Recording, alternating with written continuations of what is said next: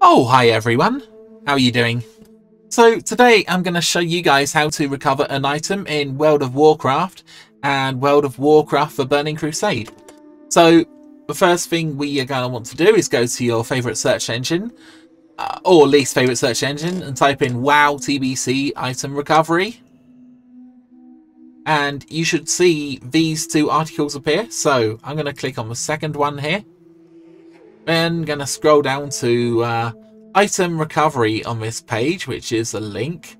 The first link, actually. Then what we're going to do, we're going to scroll down to begin item recovery.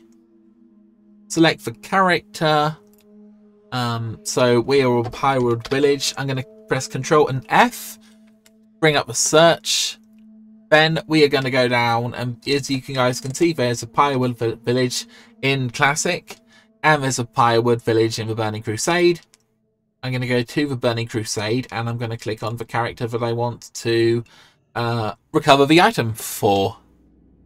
Now, there might be a bit of a delay uh, for understandable reasons. Um, there's a lot of information to load. You are then going to want to type in the item which you want to recover. Now, as you guys can see, it hasn't actually worked.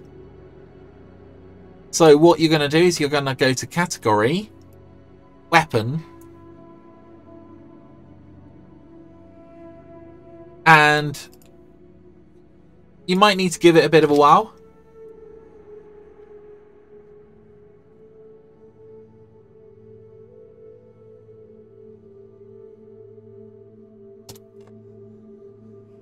If not, it might be a little bit temperamental.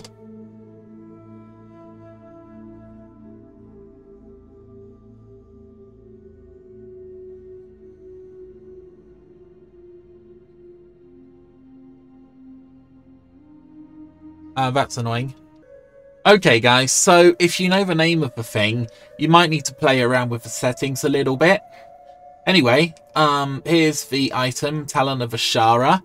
I basically messed around with the category a bit and um, tried retyping in the name a few times. It's slightly temperamental, but then again, what you're actually asking this thing to do is quite incredible. You know, out of every single thing you've ever disenchanted or deleted, you're going to want to uh, find one item. Anyway, we found it. So next we are going to type um, next review item restoration. Now, interestingly, I was looking up um, which weapons do the most damage, and Talon of Azshara is actually above Rising Tide, which is what I'm currently using. So yeah, now we click Restore Items.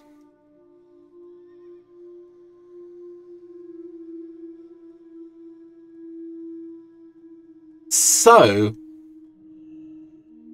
as you guys can see, we actually need one Void Crystal. So I'm going to come back to my game and get a Void Crystal.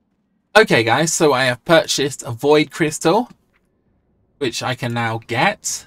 And there we go, I've got one Void Crystal. Gosh, isn't it crazy that such a powerful item like the Talon of Azshara, all you really need is one Void Crystal. Anyway, let's restore items.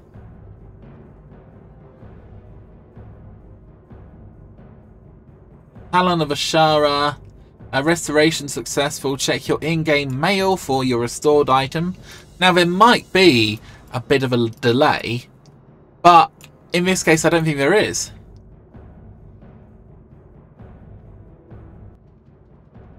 So, guys, it's taken um, a pretty short space of time, actually, but around about a minute which is pretty decent.